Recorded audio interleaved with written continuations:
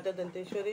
दोस्तों, आज मैं आपको बताऊँगी कि यदि आप अपने घर से किसी भी पैसे से रिलेटेड कोई काम करने जा रहे हैं, किसी को पैसा देने जा रहे हैं, या किसी से पैसा लेने जा रहे हैं, या अपना पैसा वापस, उधार वापस मांगने जा रहे हैं तो इसके लिए आपको क्या करना है, आपको अपने पूजा स्थल में एक चंदन का इत्र रखना है।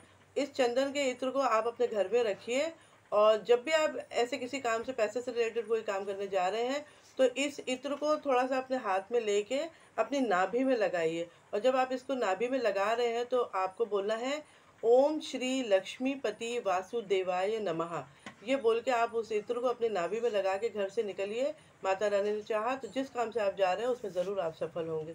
और दोस्तों, अगर आपको मेरा वीडियो पसंद आ रहा है तो मेरे चैनल को लाइक कीजिए, सब्सक्राइब कीजिए और बेल आइकन को ज़रूर दबाइए। जय माता